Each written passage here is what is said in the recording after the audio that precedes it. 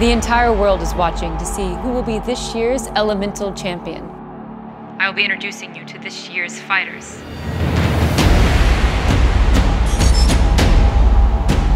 One of the reasons they created this tournament was to constantly keep them against each other, spark a rivalry.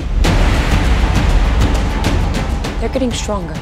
We have had this under control for over a century. What are you so worried about? Another revolution.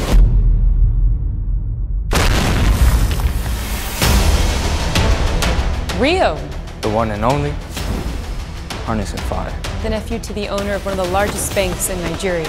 But very strong, but very, very arrogant. He just welcomed a new son. He's my greatest inspiration.